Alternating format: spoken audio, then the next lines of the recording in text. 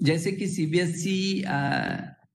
ने बोर्ड के सिलेबस को कम कर दिया है, यानी हमारे ऊपर से पढ़ाई का प्रेशर कम हो चुका है।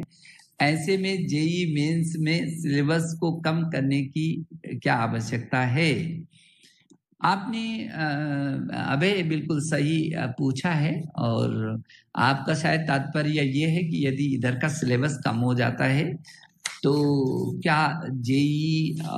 चाहे वो मेन्स है चाहे जेई वो एडवांस है क्या इसका जेई का भी पाठ्यक्रम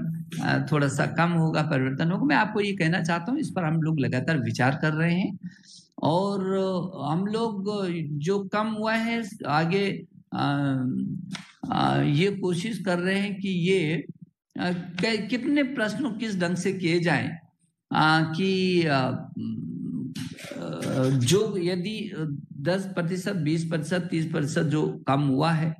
और कुछ स्थान ऐसे हैं जिन्होंने पूरा कम नहीं किया, कुछ बोर्ड ऐसे हैं सीबीएसई बोर्ड ने ही केवल तीस प्रतिशत कम किया है, बहुत सारे राज्यों के बोर्ड ने अपना पाठ्यक्रम कम नहीं किया है। तो इस पर विचार कर रहे हैं हम कि किस सीमा तक प्रश्न पूछे जाए,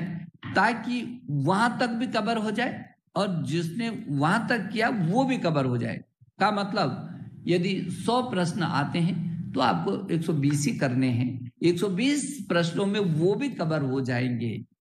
जिसने 20 प्रतिशत या 30 प्रतिशत कम पढ़ा है। तो इस पे हम विचार कर रहे हैं और उस विचार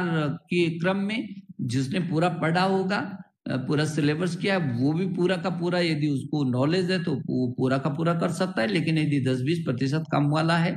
और उसको पूरा का पूरा नॉलेज है तो वो भी वो प्रश्न उसको भी कवर कर सकते हैं, ऐसे कोशिश कर रहे हैं।